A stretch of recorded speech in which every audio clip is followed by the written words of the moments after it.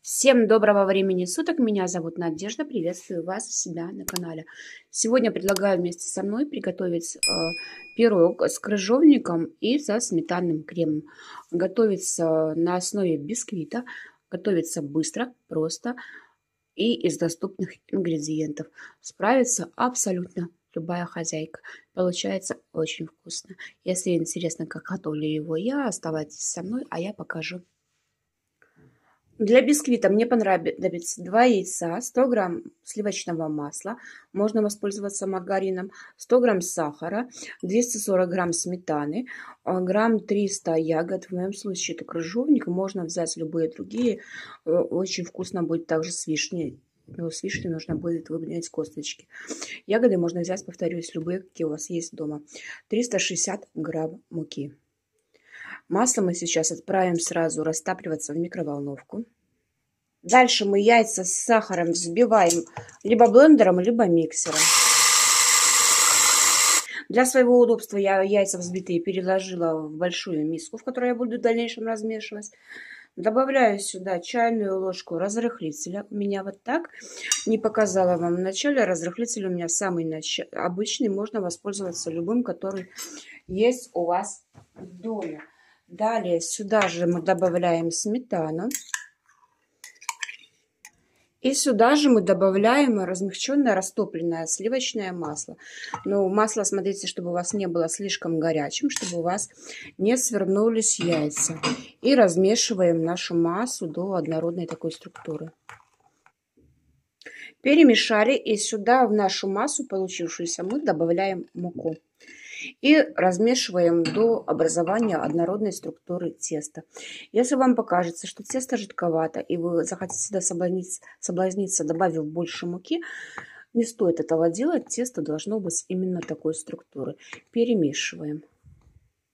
Тесто у меня уже готово. Выглядит оно такой тягучей структуры, как на густые оладьи.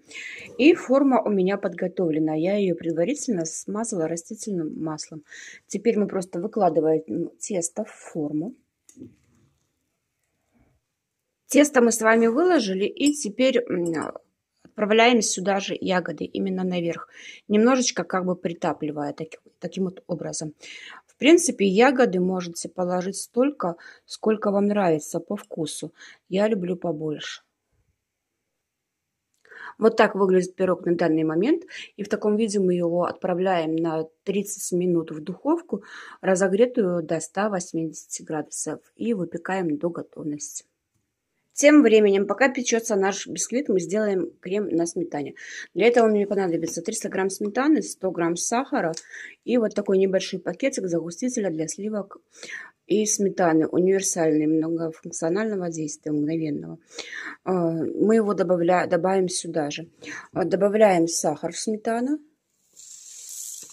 Немножко промазала, ничего страшного. И добавляем сюда же сливки загуститель да, для сливок. Добавили. И просто взбиваем венчиком либо блендером, как вам удобно. И пока печется наш бисквит, мы крем отставим в сторонку. Как раз за это время немножко наш загуститель для сливок поработает. Сметана чуток загустеет. Сам корж бисквит у меня уже испекся. Выглядит он вот так. Я достала его из духовки. И теперь прямо горячим покрываем его сметанным кремом получившимся. Смотрите, крем настоялся и выглядит уже вот так, как густ. Очень довольно густой, как тесто на оладьи. И покрываем его полностью. Прям, прям горячим, какой он есть. Достали и выкладываете крем.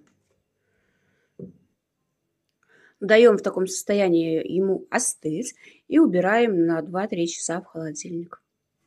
И уже после пропитки наш пирог готов к подаче. Приятного аппетита!